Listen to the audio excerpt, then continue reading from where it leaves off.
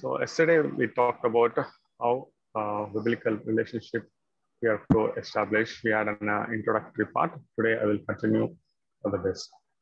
So in the day two of uh, biblical relationship, uh, biblical guidance for a right relationship, we are going to talk about how this wrong relationships also been established, how right relationship has to be established.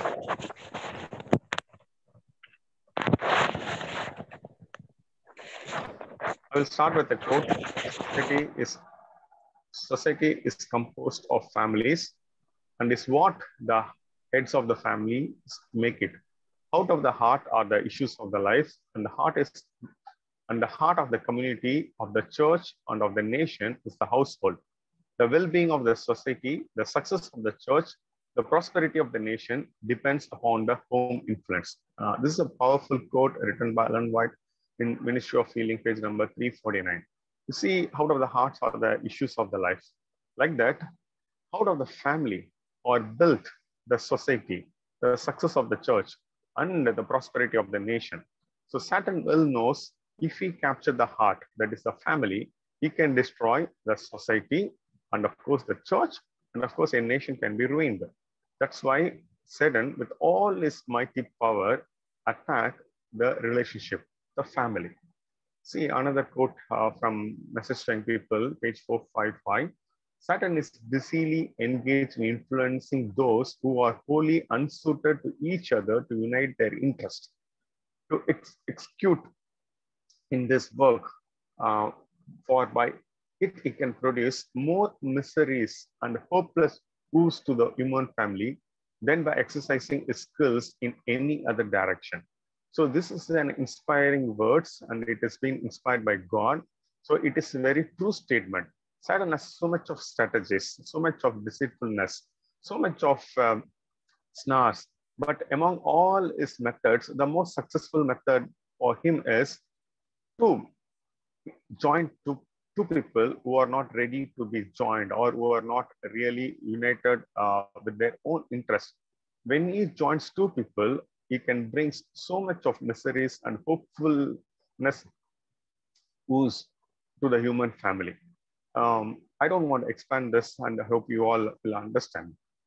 So if, if this is a situation, heart are the out of the heart are the issues of the life, out of the family or the well-being of society, the church and the nation is there. So Satan attacks the family.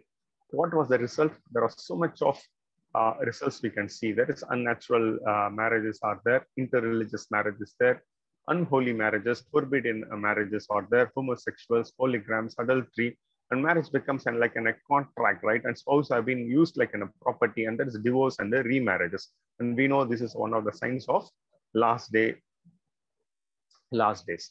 So Satan has attacked the family, and this was the result. On another hand, I want to say one interesting things. Man was not made to dwell in solitude. He was to be a social being. Like say, uh, you and me have been created to be in a social being. But when we try, try to create a good society without Christ, because we are social being, we definitely try to create a society around us. We try to build a big castle around us with a lot of people. Like we are, we we, we love relationship. That's why we do this. The fallen nature is so deceitful, and we try to do it in so many ways. I will just put some examples from the Bible.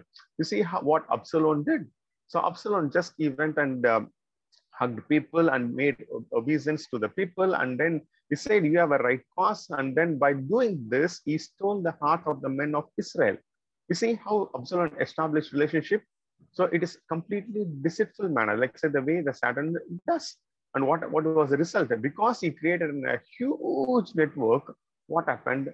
They were planning to overthrow the king who has been appointed by the Lord and Savior, Jesus Christ. I will go with another example of Pilate and uh, Herod. Like say, um, Pilate sent Jesus to Herod, and Herod in turn returned Jesus to Pilate. And by doing this, what they did, they made uh, the same day Pilate and Herod were made friends together. So by doing a wrong thing, even they made a friendship. So that's possible. Like I'm, I'm just explaining how this human nature tried to build a, a big society around us we try to influence people like and we want some people to give us like and we want people, we want people, we want in a society, we want a community. So we try to do it. And uh, as prophecy also says, like say they were trying to mingle the men, seed of men with an, another group, right? We know the, from the histories of children of Israel, they tried by uh, mingling uh, the sons of man and the daughters of man so that they can have uh, established kingdom, but that all are failed, we know it.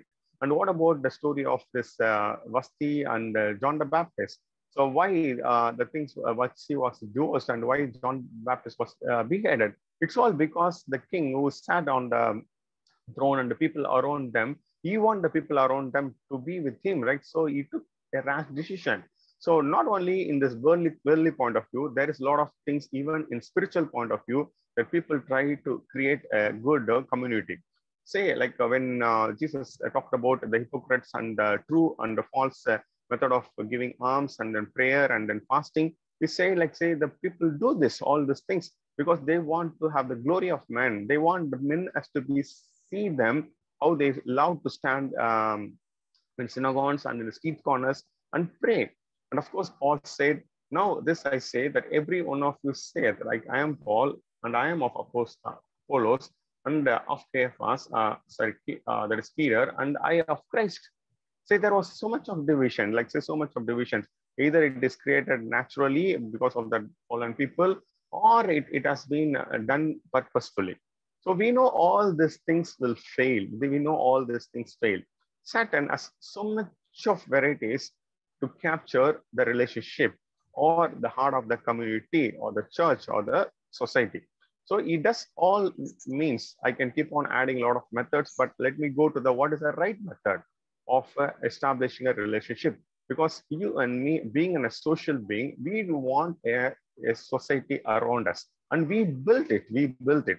But if this is not built based upon the biblical principle, I say as Babylon is going to fall, this also will fall one day. So how to build uh, on a good uh, foundation? The warmth of true friendship, the love that binds heart to heart, it's a foretaste of the joy of heaven. It's from Adventist home. So this is how we have to build. I'm going to talk about a five simple points how we can build a relationship. Either it's a relationship between a man and a woman or an husband and wife, or between two friends or the church community or any other circle. Like we can apply that in any other circle. See, Proverbs 17, 7 says, a man, a friend loveth at all time. So if at all you want to maintain a relationship, that should be based upon love because this love stands for ever and ever. So if at all we uh, develop a relationship based upon how people going to respond to it, how people going to react to it. Like say, if I do this, they will may love me or not. So if I build on that principle, I say that will not stand forever because love is an, a permanent power and it cannot be destroyed. So if you and me are lacking this love, we have to ask God, God, please plant this heavenly love in my heart because God is love. Only by God planting this love uh, plant in our heart, we can grow that love. So it is, we have to check whether why I love others, uh, either like uh, Absalom or it's like on a uh, biblical principle. Then um, Proverbs 1824 says, a man that hath a friend must show himself friendly. Okay, this is an, another interesting principle. It says, if at all you want to be a friend, you have to become a friend. So there are people, like say they were deceiving others to involve that people into, into them. They do good for others just to have uh, that group of people with, with them, right? So, so also a man also deceive and a woman and a woman also deceive and a man. But if you want to be a friend, you have to show yourself as, enough, as a friend. This is an interesting quote from Adventist home page number 430. Life is what we make it. Life is what we make it. If we give smile, they will return to us. If we speak pleasant, cheerful words, they will be spoken to us again. So it's all up to us, like how we do it. We know the story, what happened to the end of Absalom. We know the story of Pilate and the Herod. We know, like say, when there was a division among the church because of this uh, uh, Apollo or uh, Paul or Christ or Peter. Like say, what happened? The Satan uses this very powerfully to destroy the message, the gospel message. But if we give the smile, it will return to us. If we speak pleasant words, that's why I say, like say, if at all you want to become a friend, you want to establish a friend, you have to be a real friend. You have to be a real friend. The third point, uh, Proverbs 27 9. Ointment and perfume rejoice the heart, so doeth the sweetness of the man's friend by heartly counsel. This is a very interesting part. Say any relationship will stand only when we give counsel and take counsel. If at all we give a one-way traffic, that is only I will give an counsel, but I may not take the counsel, then we know it will fall. In fact, like God told to the Laodicean church, church, I give counsel, right? Buy this, take this, wear this. He's telling. So yesterday we saw if at all Bible was needed as a counsel, if at all if divine guidance should be sought in prayers, it is before taking the step that is binding of two people in marriage. That is Patriarchs and Prophets, page number 175. So it's very important to have counsels. So let us check our attitude, right? If at all I don't have a listening attitude, if at all I don't give an ear for what others say, and if at all like say I, I'm I'm just throwing my own view, like how the family will be established. That's how Satan captures the family. Don't think Satan comes with a very big uh, thing to destroy the family, like say an immoral life or like say out of marital relationship.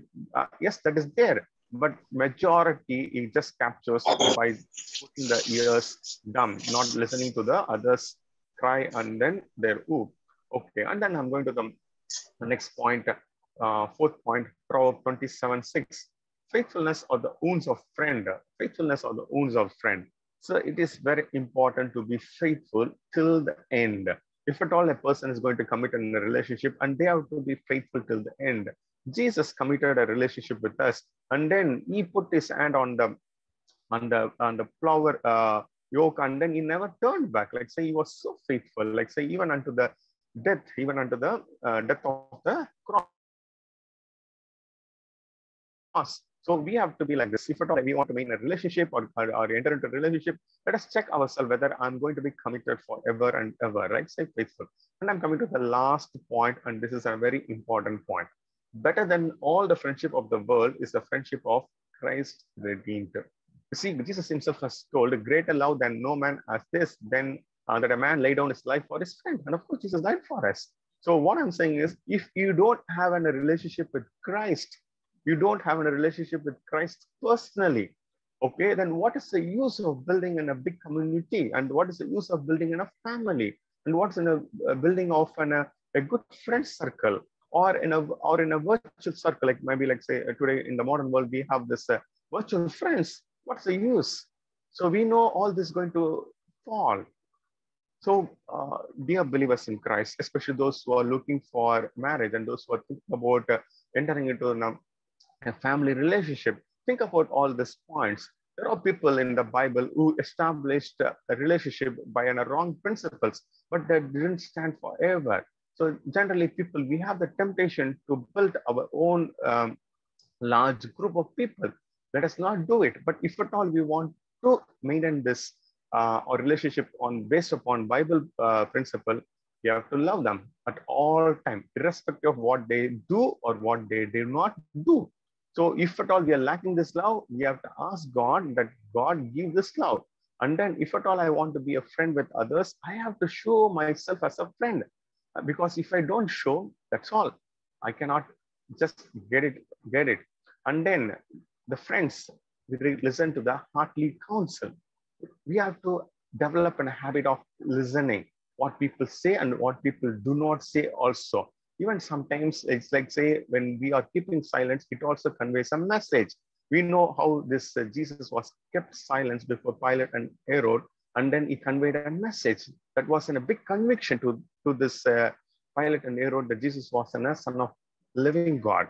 And then the faithfulness we have to have a commitment to be faithful even till the end.